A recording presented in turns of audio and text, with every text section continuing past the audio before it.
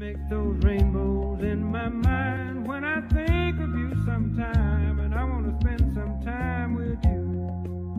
Just the two of us.